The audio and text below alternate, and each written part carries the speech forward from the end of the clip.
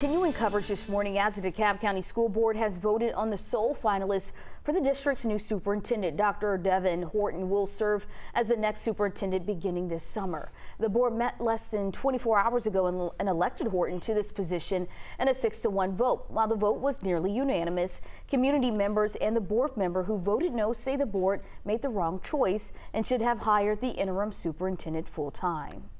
In order to run a school system, you need people that are qualified.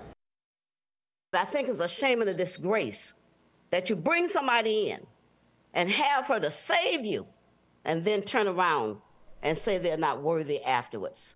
Despite pressure and opposition from parents and community members in taking charge of a district 14 times the size of his previous district in Illinois, Horton says he's ready for the job. They'll see what, uh, what the board has seen in me as well to be able to make sure that we can lift this district. The final terms of Horton's contract will be worked out in the next few days, and he is expected to start in July.